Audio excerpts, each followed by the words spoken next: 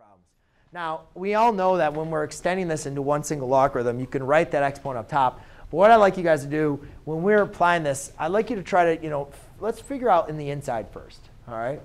So right now we have multiplication. Let's just work from left to right. We have multiplication. Multiplication we can rewrite, Miranda, as a, I'm sorry, if I have addition, I can rewrite it as the product of one single logarithm, right? So let's, re let's do that first. So 1 fourth log base 2 of x minus 1 times x plus 1. Right? Haley, what's x minus 1 times x plus 1?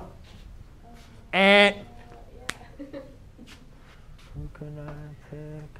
Brett, what's x minus 1 plus x plus 1?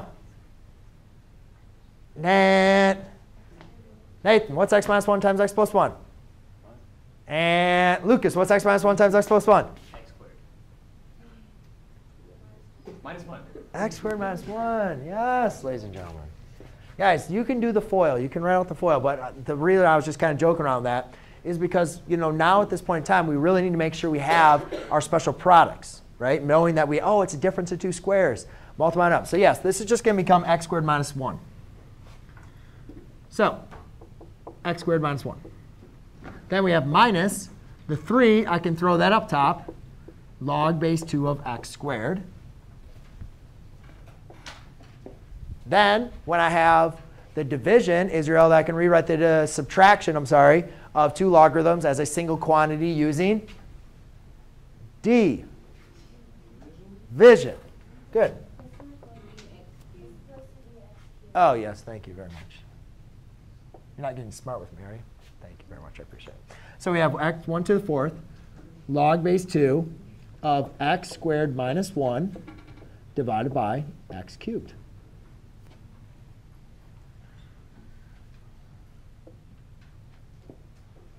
Right? Right? Now, ladies and gentlemen, what does it tell you when you have a logarithm being multiplied number? You can rewrite that as the exponent. So therefore, now we write this as log base 2 of x squared minus 1 divided by x cubed raised to the 1 fourth. Now, going back to my familiar rule, raising to the 1 fourth power is the same thing, Connor, as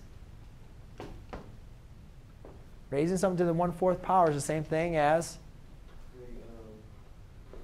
fourth root. Very good. So my final answer is log base 2 of the fourth root of x squared minus 1 divided by x cubed. Ta-da!